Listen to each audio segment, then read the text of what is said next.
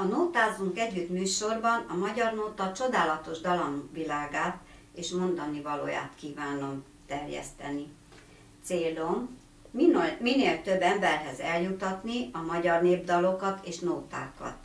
A magyar folklór zenei tára olyan bőséges és gazdag, hogy szebbnél szebb népdalokat hallgatok, és csárdások arra várnak, hogy minél több embernek szerezzenek örömet a világ bármely országában.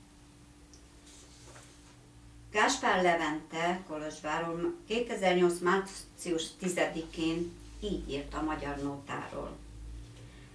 Magyar nóta, magyar zúgja, vízhangzócék a medence csontja.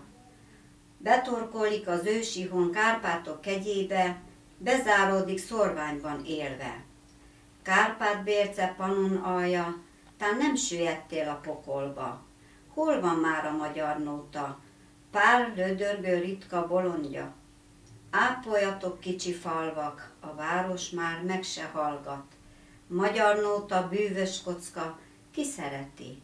Ő maga sem tudja. Viszont vánszorgó az élet útja. Nemes szívű hordolója, magyar lelkű hordozója, trend az érték tűzoltója, hagyományunk bitorlója. Bitorlókat bitófára, nemzeti kincsünk javára, új trendet a kincs javára, magyar szív boldogítására. Írjunk trendet új nemzetnek, új nemzetnek, nemzedéknek, Kotta írjon trendíveket, cigány húzon szebb életet, nótába a magyar kedve, kedvet át a magyar eszme, de mi is az a magyar eszme? Poros agyak hajdani közélete, magyar eszmét, magyar dalója. Hallod már? Ez magyar nóta, magyar talál, magyar módra. Ma a, az, ami a mai fiatalok, fiatal, aki nem szereti ezeket a gyönyörű zenéket, az nem is érdemli meg, hogy magyarnak vallja magát. Ezek a zenék a legjobb stresszoldó és antidepresszáns anyagok. Sokkal jobbak, mint az orvostudomány legjobb hasonló készítményei. Az ember egy-egy szomorúbb nótánál kisírja magából a stresszet.